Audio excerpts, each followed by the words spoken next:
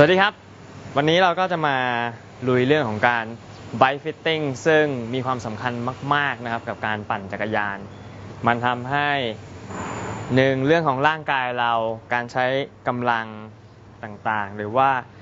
ลดไซส์ต่างๆ ให้เหมาะกับตัวเรานะครับ เดี๋ยวเราเข้าไปลุยกันเลยว่ามันจะเกิดอะไรขึ้นบ้างหลังจากที่เรา bike fitting ไปแล้ว ไป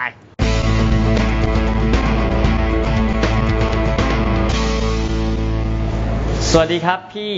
สวัสดีครับ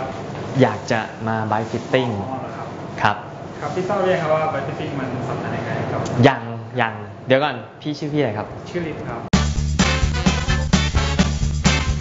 พี่ฤทธิ์เอ่อจบด้านนี้มาโดยเฉพาะเลยใช่ไหมครับ จบเรื่องเกี่ยวกับพวกสรีรวิทยากับการออกกำลังกายแล้วก็จบ bike fitting อ๋อ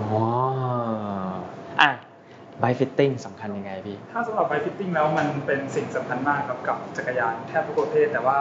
เราจะให้ความสำคัญกับจักรยานประเภท road bike เป็นหลัก เพราะเนื่องจากจักรยานประเภท road bike เนี่ยเป็นการนั่งปั่นบนเบาะจักรยานนานระยะเวลานานอืมสองถึงสามชั่วโมงถึงห้าชั่วโมงอืมซึ่งท่าหรือว่าท่าทางในการขี่หรือองศาของหัวเข่าข้อเท้าพวกเนี้ยจะต้องเป็นองศาที่เหมาะสมกับตัวผู้ปั่นครับอืมช่วยในการลดการบาดเจ็บและป้องกันการบาดเจ็บที่เกิดจากการปั่นไม่ได้บาดเจ็บจากการล้มนะใช่บาดเจ็บจากการที่เรานั่งอยู่บนเบาะปั่นนานๆน่ะใช่ครับเพราะใช่ไหมว่าครับเนื่องจากจักรยานเป็นการ ออกกำลังกายแบบการกระทำซ้ำๆซ้ำๆซ้ำอืๆมเป็นเวลานานถ้าหากเราเคลื่อนที่ผิดก็อาจจะเกิดการบาดเจ็บจากการเคลื่อนไหวของเราเองครับคือเหมือนถ้าถ้ามันไม่ถูกต้องเนี่ยใช่ครับการที่เราย้ำซ้ำๆก็ทำให้กล้ามเนื้อเนี่ยใช่ครับเกิดปัญหาไปเรื่อยอ่าๆมัทีละนิดใช่ครับมันอาจจะเกิด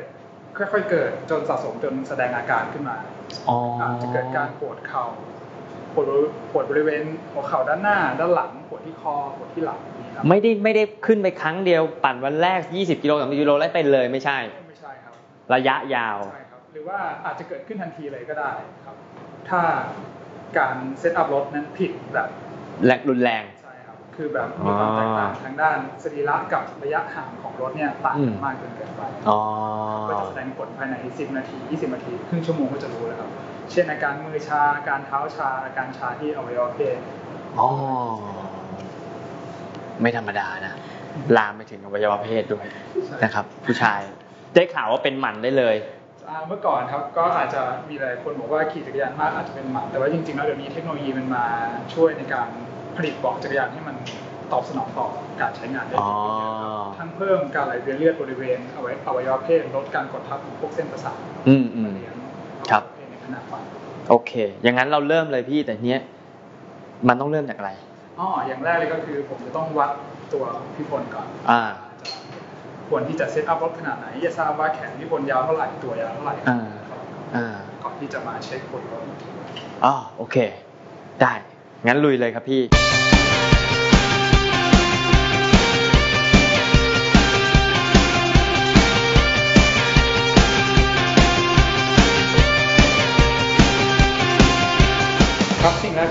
คือผมจะต้องวัดร่างกายพี่พลก่อนครับ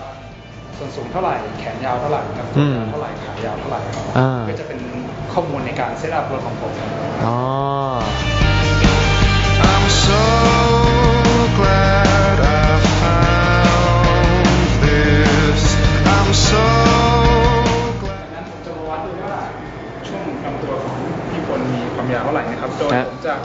วัดที่กระดูกหน้าอกครับหรือชื่อที่เขาเรียกว่ากระดูก sternum บริเวณหน้าอก sternum ครับเป็นกระดูกบริเวณหน้าอกของคนนะครับฮะเราจะสัมผัสได้บริเวณนี้ครับ อ๋อ ตรงนี้ Oh, I've got two things you ผ should. มได้ค่าของความยาวช่วงตัวของพี่พลแล้วครับ ครับไปผมขอเช็คส่วนสูงหน่อยนะครับว่าความส่วนสูงเท่าไหร่เอ้ยความยาวช่วงตัวผมเท่าไหร่เมื่อกี้พี่หนึ่งสี่สามครับหนึ่งสี่สามหนึ่งร้อยสี่สิบสามเซนติเมตร ก็คือมันจะมาหักลบจากช่วงขาแล้วก็ความสูงครับอ๋อ โอเค ก็ความสูงก็หนึ่งเจ็ดสี่จุดห้าหนึ่งร้อยเจ็ดสิบห้าใช่ครับประมาณงั้นที่โรงพยาบาลโกหกผม เท่าไหร่ครับที่โรงพยาบาลบอกผมต้องร้อยแปดสิบไอเราก็หลงดีใจ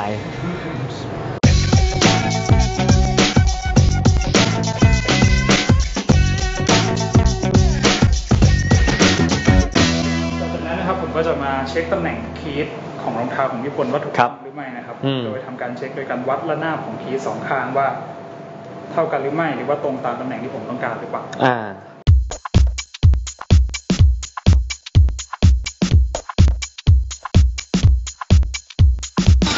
สำหรับตำแหน่งคีย์ที่ถูกต้องและเหมาะสมที่สุดในการขี่จักรยานนะครับ เราควรที่จะวางคีย์ไว้ตำแหน่งบริเวณหลังกระดูกที่เขาเรียกว่า ทั่วไปนะครับที่คนเขาเรียกว่า ball of foot ก็คือบริเวณกระดูกหัวแม่เท้าครับ นี่ใช่ครับ ตรงนี้คือตรงนี้เราใช่ครับผมสามารถสัมผัสได้ครับ โดยใช้มือจับครับบริเวณนี้อืมนี่ครับเราจะสัมผัสได้ครับสจะอยู่หลังนี้ใช่ครับ5มิลลิเมตรครับอ๋อถอยจากกระดูกนี้ไป5มิลลิเมตรทำไมเราต้องวางไว้ข้างหลังกระดูกชิ้นนี้5มิลลิเมตรเพราะว่าลดอาการ burn คืออาการกดทับนานๆเวลาเราปั่นครับอืมก็จะรู้สึกสบายขึ้นถ้าเราวางไว้ตำแหน่งที่คีย์ที่นี่โดยตรงปั๊บ มันก็จะกดทับจนเบิร์นนะครับ จนเรารู้สึกเจ็บปวดอ๋อคือเจ็บและปวดบริเวณกระดูก